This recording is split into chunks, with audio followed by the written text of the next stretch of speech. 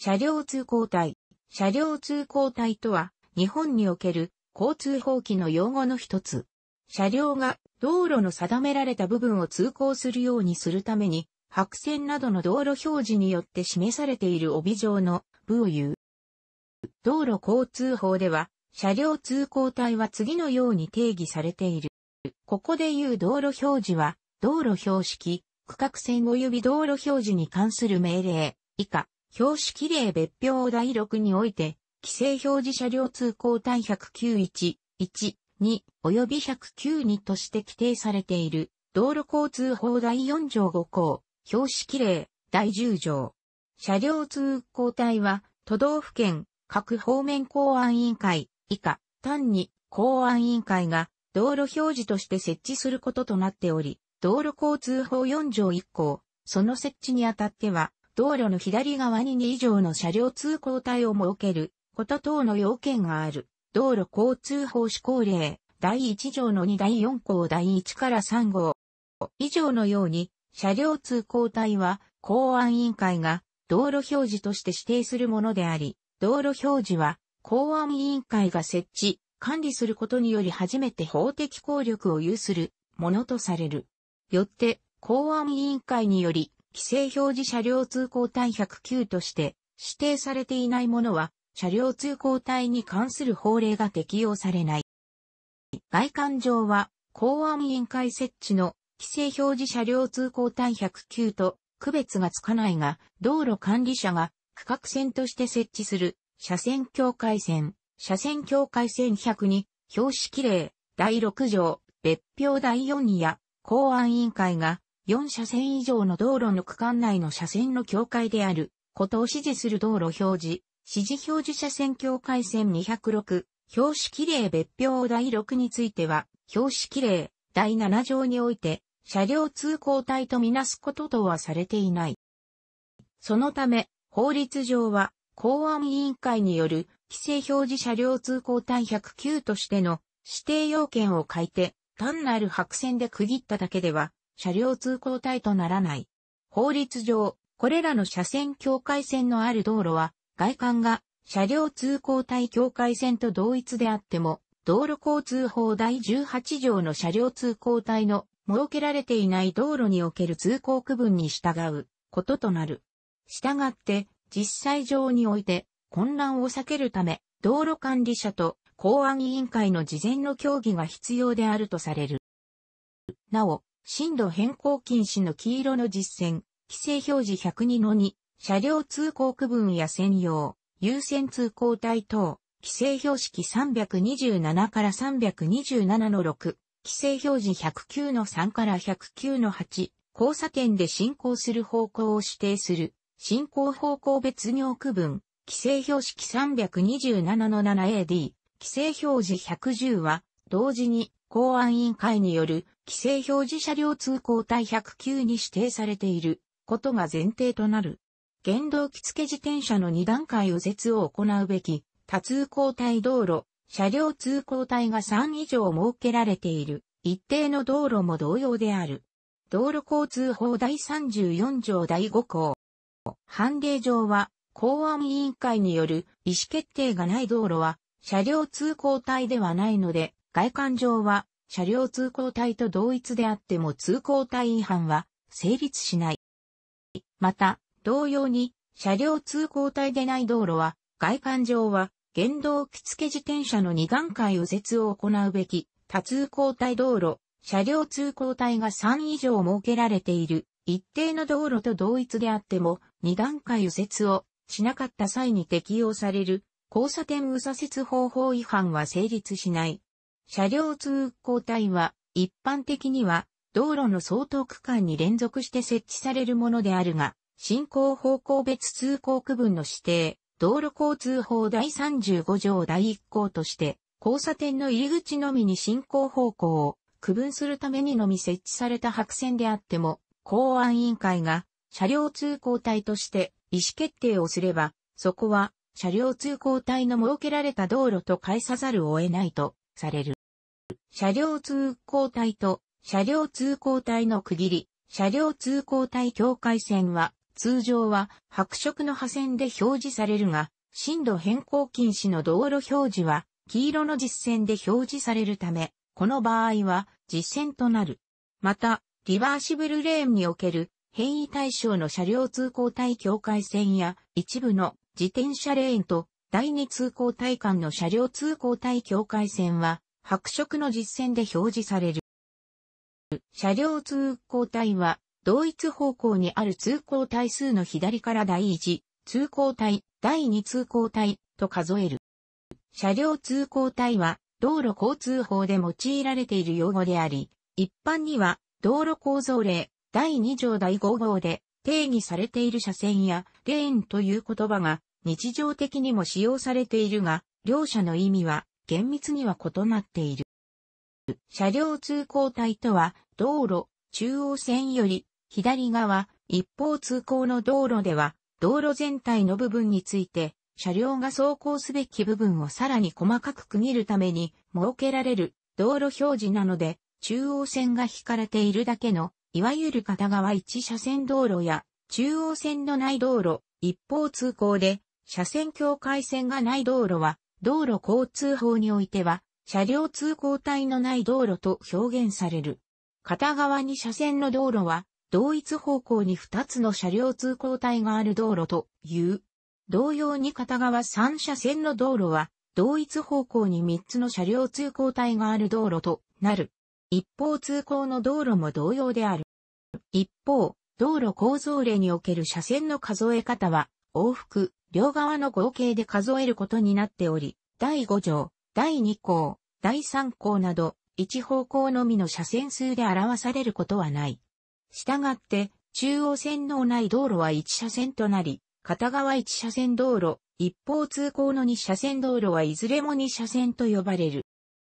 車両は、車両通行帯のある道路においては、原則としては、一般道路か高速道路かに関わりなく、第一通行帯を通行することとなっている。そして、自動車、小型特殊自動車、最高速度が著しく遅い自動車を除くは、道路に第三通行帯以降の通行帯がある場合には、速度に応じて第二通行帯から左右通行帯の一つ左の通行帯までの間、通行することができる道路交通法第20条第一項。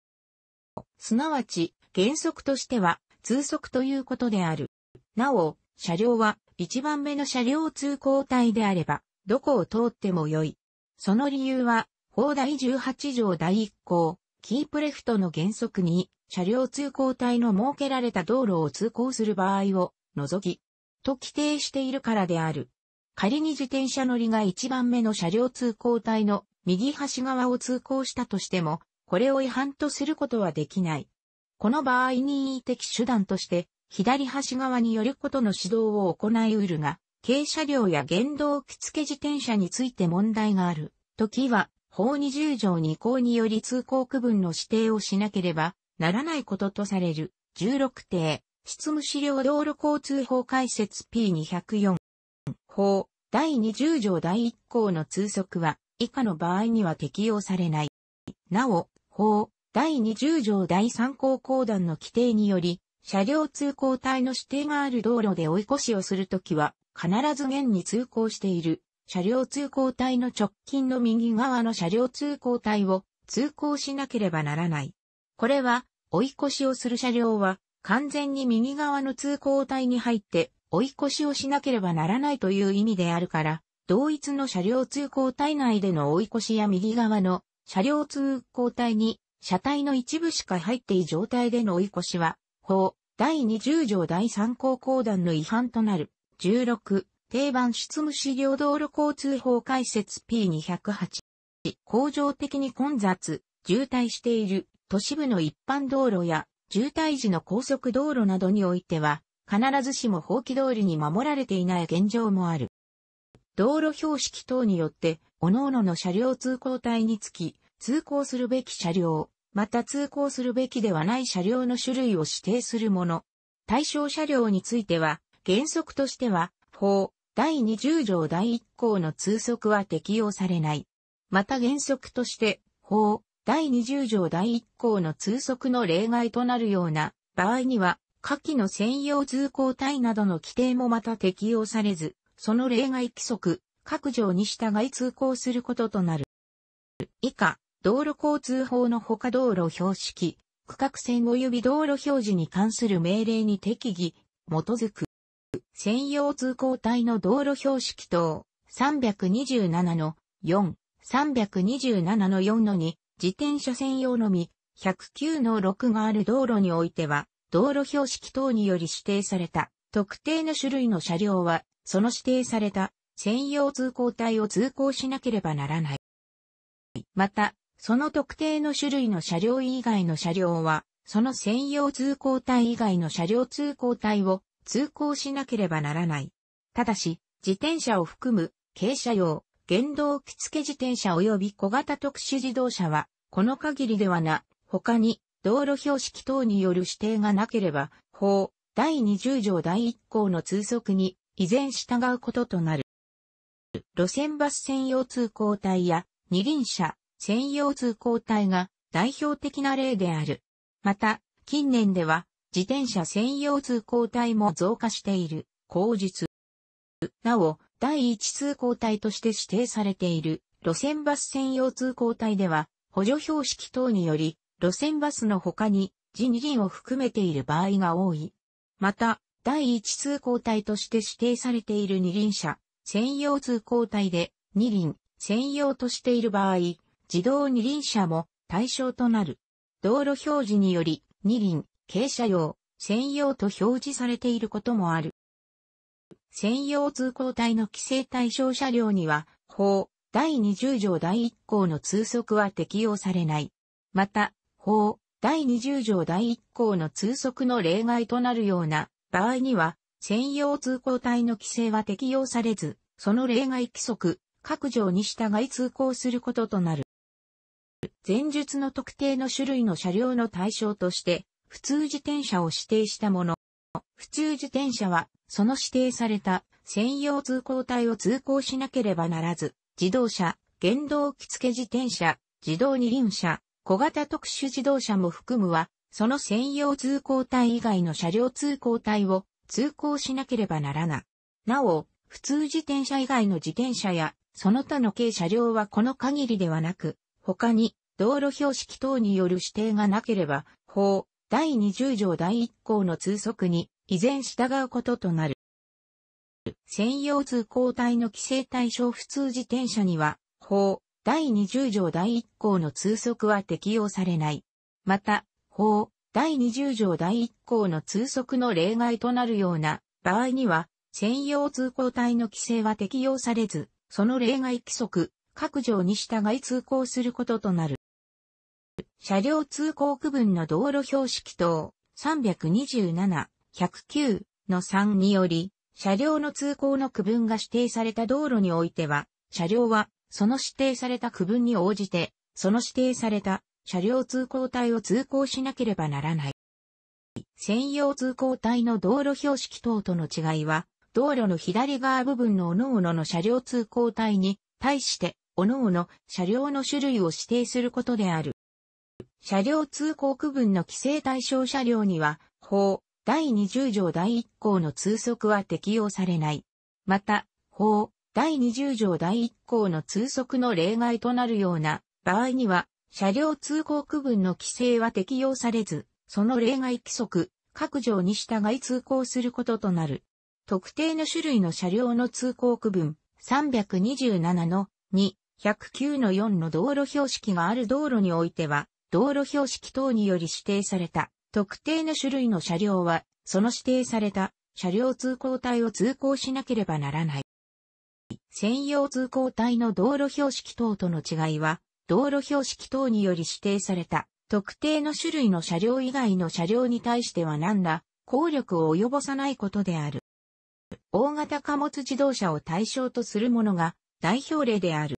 特定の種類の車両の通行区分の規制対象車両には、法、第20条第1項の通則は適用されない。また、法、第20条第1項の通則の例外となるような場合には、特定の種類の車両の通行区分の規制は適用さず、その例外規則、各条に従い通行することとなる。高速道路等における大型トレーラー等の重大事故の抑止のために導入された。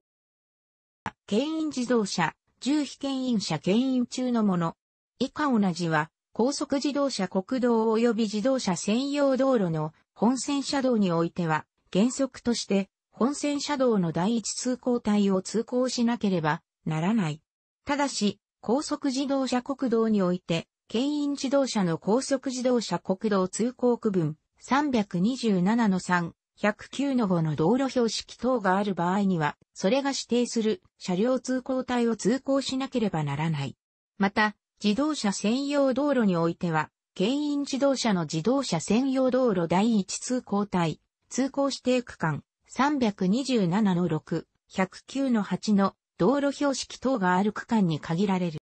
また、この規制に該当する場合には、法、第20条第1項の通則は適用されず、その通則の例外は4.56番のみが適用される。また、この規制限定で適用される例外は以下の通り。路線バス等優先通行帯の道路標識等327の5、109の7の道路標識等327の4、109の6がある道路においては、路線バス等以外の自動車は、路線バス等優先通行帯を通行しているときに、後方から路線バス等が接近してきたときは、路線バス等の運行を妨げないように、できるだけ速やかに進路変更をして、その通行帯の外に出なければならない。また、渋滞等により、路線バス等優先通行帯の外に進路変更ができなくなる可能性がある場合には、最初からその通行帯を通行してはならない。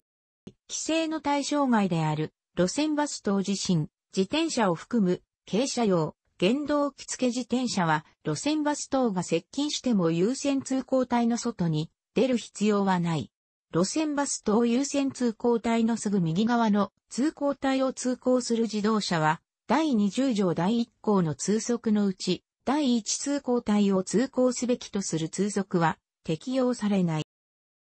路線バス専用通行帯との実質的な違いは交通換算であり、なおかつ後方に路線バスが全くない場合には、その指定通行帯を通れる違反とならないということである。専用通行帯の場合は、交通状況に関係なく専用通行帯以外の通行帯を原則通らねばならない。